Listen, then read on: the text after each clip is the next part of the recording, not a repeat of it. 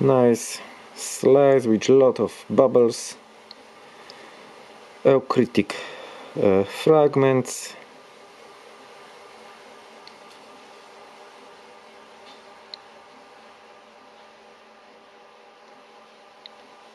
And also bubbles visible from outside.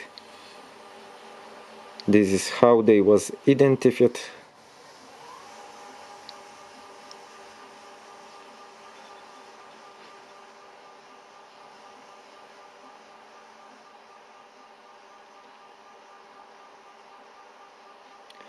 very strange material? One of a kind